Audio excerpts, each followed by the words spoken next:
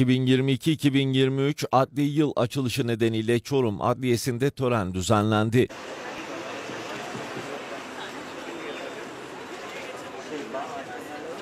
Adliye binası önünde düzenlenen törene Adli Yargı Adalet Komisyonu Başkanı Hasan Öztürk, İdare Mahkemesi Başkanı Zeynep Bulut, Baro Başkanı Avukat Turan Kalıpçı, avukatlar ve adliye çalışanları katıldı.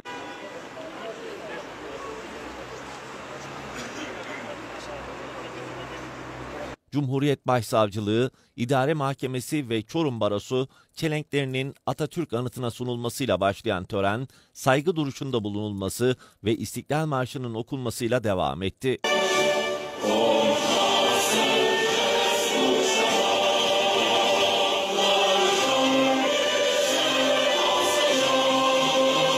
Ardından baro binasına geçilerek adli yıl açılış konuşması yapıldı.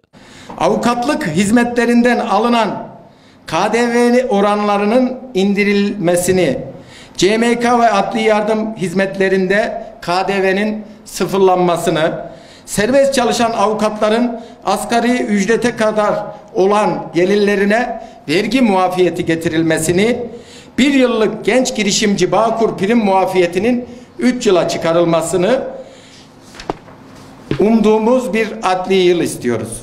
Baro Başkanı Avukat Turan Kalıpçı yaptığı konuşmada hukukun üstünlüğünün sağlandığı, hak ve özgürlüklerin yaşama geçtiği, herkes için adil bir adli yıl temenni ettiklerini vurguladı.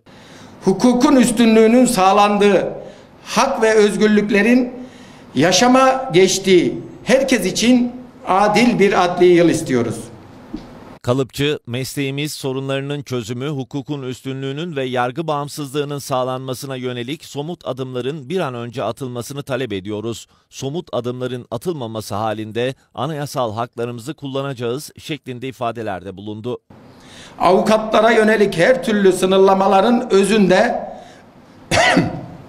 vatandaşların hak arama özgürlüğüne ve savunma hakkına getirildiğini, yargının eşit süceler arasında ayrımcı bir yaklaşıma tabi tutulmasının kabul edilemeyeceğini, yargının şeffaflaşmasını, hak arama özgürlüğünün sağlanmasını ve adil yargılanma hakkının tesisi için avukatların önündeki tüm kısıtlamaların kaldırılmasının zorunluluk olduğunu bir kez daha belirterek mesleğin sorunlarının çözümü hukukun üstünlüğünün ve yargı bağımsızlığının sağlanmasına yönelik so somut adımların bir an önce atılmasını talep ediyoruz.